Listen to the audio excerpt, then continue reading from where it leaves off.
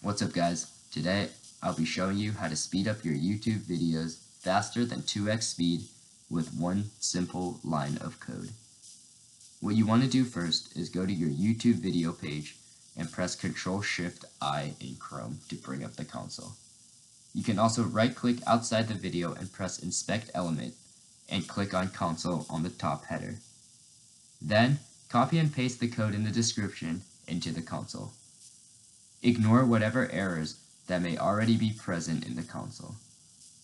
Replace the X at the end of the code with the speed you want. For example, 4.0 would be 400% speed. This is extremely useful for slow-paced YouTube videos, as well as watching educational videos with instructions that move too slowly. Thanks for watching, please subscribe.